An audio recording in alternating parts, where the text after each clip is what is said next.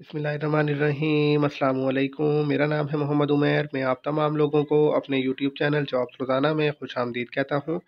जैसा कि आप तमाम लोगों को मालूम है, जॉब्स के हवाले से जो भी कोई नई मालूम आती हैं, वो मालूम मैं डेली आप लोगों के साथ अपने चैनल में शेयर करता हूँ और मुकम्मल डिटेल देता हूँ कि आप लोग जॉब के लिए अप्लाई कैसे करेंगे। तो आज मैं आप लोगों के साथ अपने इस वीडियो में जॉब के हवाले से एक और लेटेस्ट इन्फॉर्मेशन शेयर करूँगा और आप लोगों को बताऊँगा कि सोशल वेलफेयर बैतुलमाल में जो बेशुमार नौकरियों का ऐलान किया जा चुका है, जिसके लिए मेल और फीमेल अप्लाई कर सकते हैं। उन नौकरियों की तफसीलात क्या हैं? कौन कौन से लोग अप्लाई कर सकते हैं? अप्लाई करने का प्रोसीजर क्या है? एडवर्टाइजमेंट किस तरीके से डाउनलोड करेंगे? तो ये सारे सवाल का जवाब आप लोगों को इस वीडियो में मिल जाएगा। अगर आप लोग वीडियो को कंप्लीट देखेंगे तो वीडियो को मुकम्मल देखने के लिए आप लोगों ने वीडियो को इसके बिल्कुल भी नहीं करना, वरना आप लोगों को अप्लाई करने का तरीका समझ में नहीं आएगा। तो जॉब पर अप्लाई करने के लिए जिस तरीके को मैं आपको बताऊँगा, उस तरीके को फॉलो कीजिएगा तो आप लोग आसानी जॉब के लिए अप्लाई कर सकेंगे। तो जॉब पर अप्लाई करने के लिए दोस्तों, बहुत ही सिंपल सा तरीका है। आप लोगों ने क्या करना है, अपना कोई भी ब्राउज़र जो है वो ओपन कर लेना है।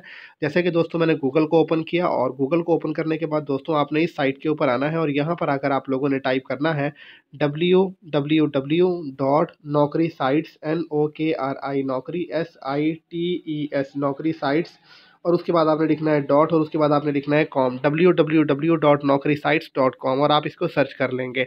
जैसे ही दोस्तों आप इसको सर्च करेंगे अपने किसी भी ब्राउज़र में आके तो आपके सामने दोस्तों नौकरी साइट्स की नौकरी साइट्स जो है ये ओपन हो जाएगी और इस साइट पर दोस्तों आप लोग देख सकते हैं।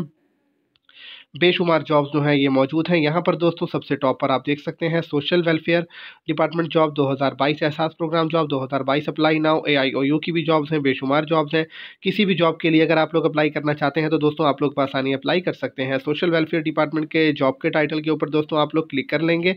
जैसे ही दोस्तों आप लोग जॉब के इस टाइटल के ऊपर क्लिक करेंगे, आपके सामने इस जॉब से रिलेटेड जो भी तफसीली मालूम होंगी, इन तमाम मालूम की डिटेल्स आपके सामने आ जाएँगी। तो दोस्तों ये डिटेल्स आपके सामने आ चुकी हैं। जॉब्स के टाइटल भी मौजूद हैं? कौन कौन सी जॉब्स हैं? आप लोग अपनी तालीम के लिहाज से अपनी मर्ज़ी की जॉब के लिए अप्लाई कर सकते हैं।